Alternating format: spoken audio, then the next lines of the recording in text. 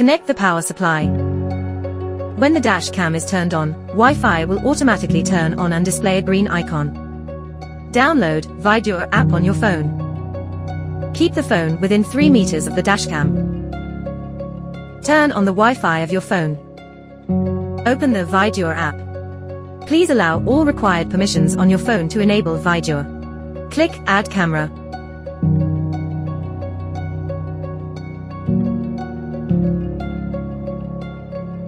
Locate the ID 400 Wi-Fi and enter the password.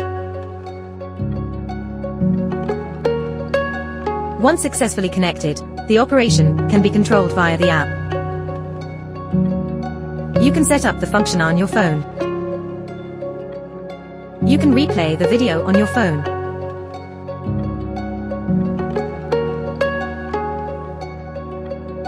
You can download the video on your phone. You can share the video with family, friends, and on social platforms.